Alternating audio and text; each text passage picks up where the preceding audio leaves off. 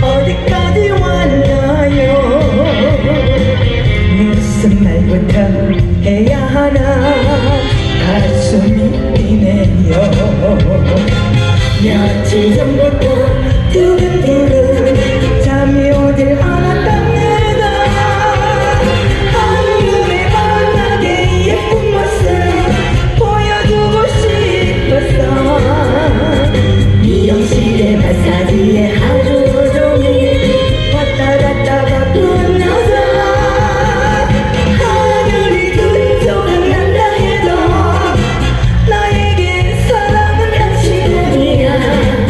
당신이 못 오시면 내가 당신.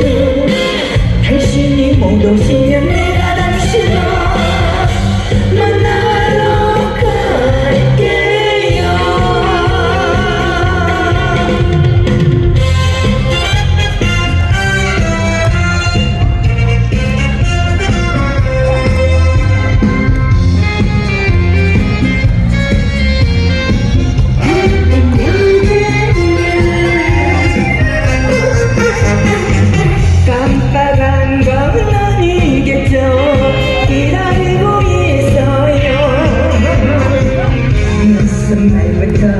Yeah.